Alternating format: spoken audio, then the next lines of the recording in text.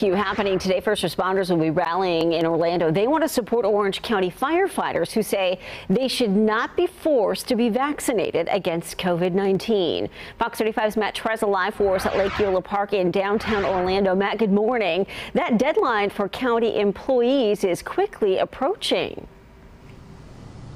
It is. Mayor Jerry Demings says he wants to get all county employees vaccinated against COVID-19. He says the firefighters union is the lone holdout so far.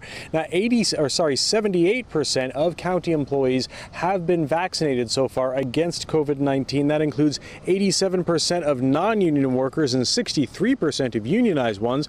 The firefighters union is bargaining with the county to see if they can get the vaccine mandate repealed. Mayor Demings says the county is within its legal rights to require workers get immunized.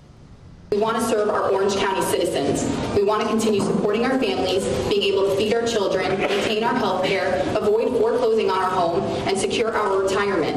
No one should be forced to have to choose between their beliefs and their bodily autonomy or their job. While you have individual rights, sometimes your individual rights cannot trump the rights of the greater collective of our community.